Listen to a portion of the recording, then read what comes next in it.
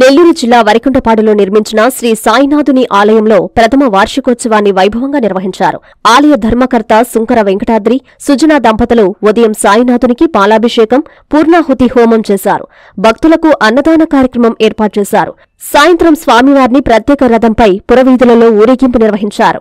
రాత్రికి స్వామివారి పల్లకీ సేవ ఊయల సేవ హారతి ప్రత్యేక పూజలు చేశారు. అనంతరం కాకినాడ వారిచే కోలాట కార్యక్రమం నిర్వహించారు. ఆలయానికి వచ్చిన భక్తులందరికీ అల్పాహార విందు ఏర్పాటు చేశారు. ఆలయాన్ని విద్యుత్ దీపాలంకరణలతో పుష్పాలతో ప్రత్యేకంగా అలంకరించారు. ఈ కార్యక్రమంలో వేలాది మంది భక్తులు పాల్గొని స్వామివారి తీర్థ ప్రసాదాలను స్వీకరించారు.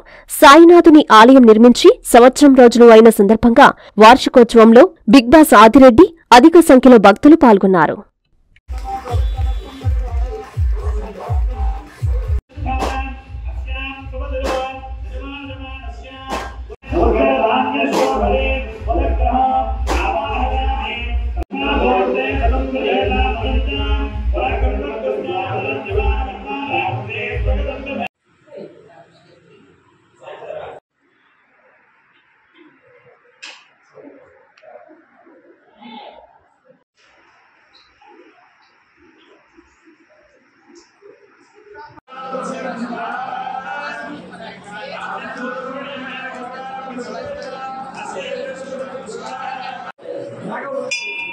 భక్తమహాశీల విజ్ఞప్తి శ్రీ సాయిబాబా ప్రథమ వార్షికోత్సవ పూజా కార్యక్రమాలు ఈ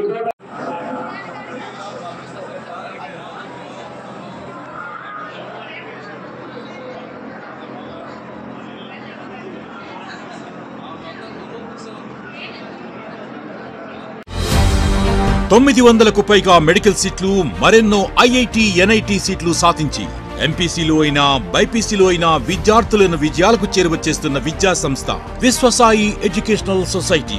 విద్యా బోధనలో అపార అనుభవం కలిగిన డైరెక్టర్స్. విద్యార్థుల క్రమశిక్షణకు వారి మానసిక దృఢత్వానికి ఎల్లప్పుడూ తోడుగా నిలిచే faculty. Concept based teaching easy learning genuine practical knowledge లాంటి ఆధునిక విద్యా విధానానికి తగిన విద్యా బోధనా విధానం పాటిస్తూ ఒత్తిడి లేని ఎగ్జామ్ ప్రిపరేషన్ ద్వారా విద్యార్థులకు స్ట్రెస్ ఫ్రీ ఎడ్యుకేషన్ అందిస్తూ వారి విజయాలను మరింత సులభతరంగా మారుస్తున్న విద్యా సంస్థ Vishwasai educational society MBBS dental IIT NIT విద్యార్థి ఆశయం ఏదైనా వారి ఆశయ సాధనకు విద్యార్థుల ఎంపికలు ఎప్పటికీ ముందుండే విద్యా సంస్థ విశ్వసాయి ఎడ్యుకేషనల్ సొసైటీ.